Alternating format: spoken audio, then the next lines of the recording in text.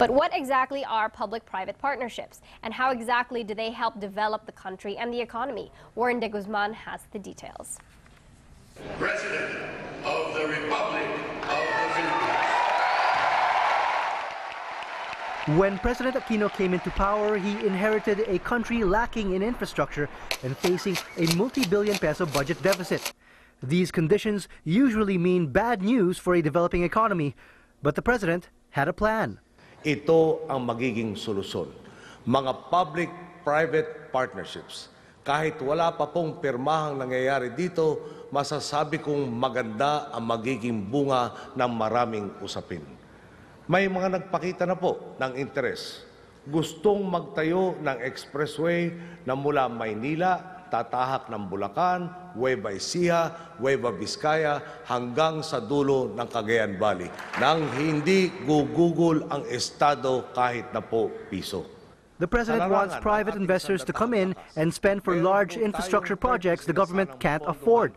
The National Economic and Development Authority is now busy lining up priority projects, including light rail transits, tollways, and dams. But because these projects are very costly, the government will have to convince private partners to come in. And they will only come in if they are sure of a return on investment.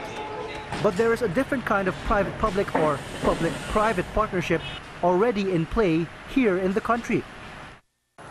This is a strategic corporate community project. It's like a private-public partnership, but it's smaller in scale. Also, the focus is different.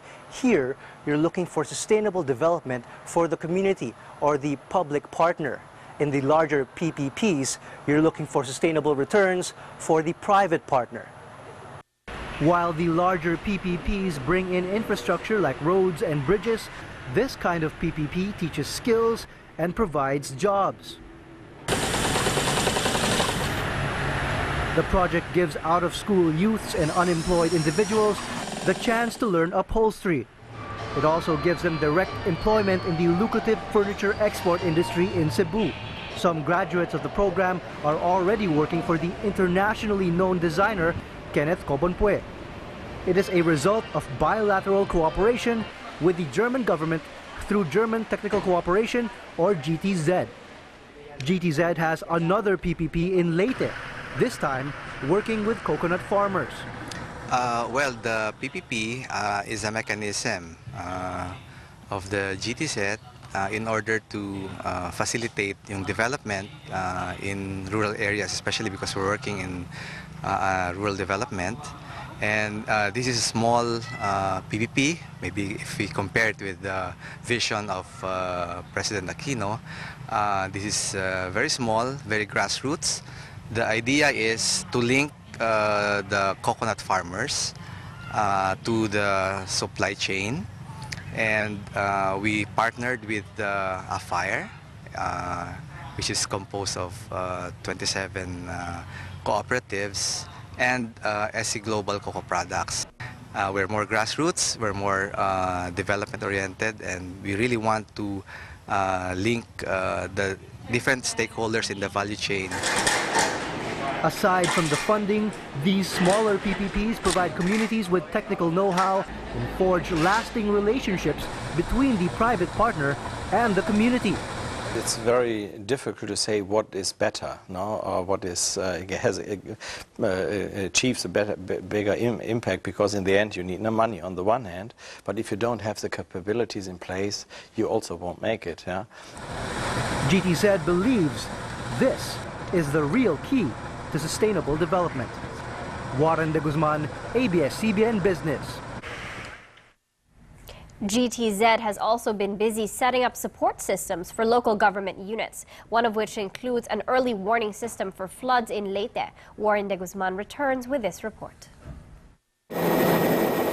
On February 17, 2006, a massive landslide hit St. Bernard, southern Leyte, burying more than 1,000 people. The German Technical Cooperation Group, GTZ, was very active in the Visayas at the time. They were asked to find a way to prevent such a disaster from happening again.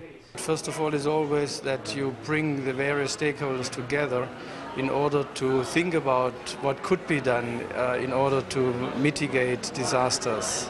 And the solution we had always we had at hand was to help municipalities and the most vulnerable municipalities in, in Leyte Island um, to come up with disaster preparedness plans. Dr. Walter Salzer says more than relief and rescue, preparedness is the best answer to disasters. We saw that in certain watershed areas, especially uh, where a lot of floods are, are happening every year, um, that we would need to establish early warning systems uh, in order to, to warn the population ahead of time when, when floods are coming. Dr. Salzer is still in Leyte to this day, overseeing the training and maintenance of the eight early warning systems installed in Leyte using affordable radio frequency technology. Because they are manned by stakeholders or people within the flood-prone communities, they have been very effective. Ang experience dito is 2006, Milenio and Reming. Ah, maraming napinsala. 2006 din yung ano, yung landslide dun sa sa St. Bernard.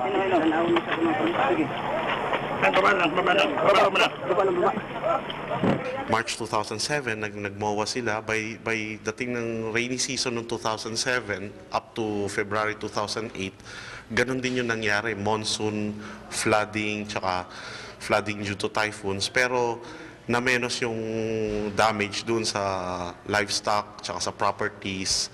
Tapos zero casualties siya GTZ is set to meet with Weather Bureau Pagasa this November to discuss installing these warning systems across the country. It is also in the process of developing early warning systems for landslides and earthquakes for local government units. Warren de Guzman, ABS-CBN Business. The G20 meeting in South Korea is over. Now, did they find a solution to the currency wars? Find out when Business Nightly returns.